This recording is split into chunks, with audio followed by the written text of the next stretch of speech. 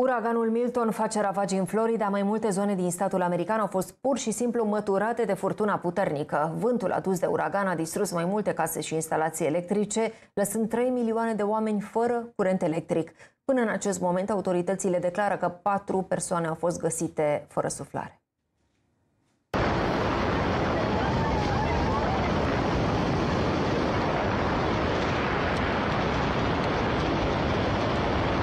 Uraganul de categoria 3 a ajuns pe coasta de vest a Floridei, unde a provocat deja pagube în mai multe regiuni. Situația a fost de-a dreptul periculoasă în zona Tampa din Florida, acolo unde au fost distruse peste 120 de case.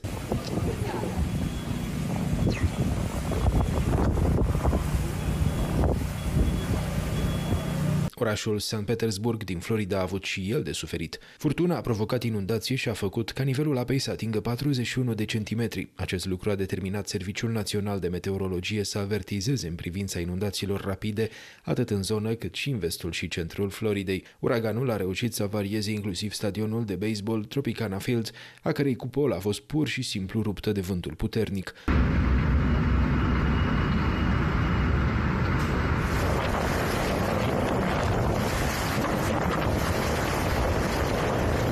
Potrivit Centrului Național al Uraganelor din Statele Unite, vântul a bătut cu o viteză de 195 km pe oră în apropiere de orașul Siesta Key, situat în sudul zonei metropolitane Tampa Bay. Mai multe regiuni din Florida se află în continuare sub amenințarea inundațiilor. Au fost emise avertizări de urgență în zona Tampa Bay, dar și pentru orașele St. Petersburg și Clearwater.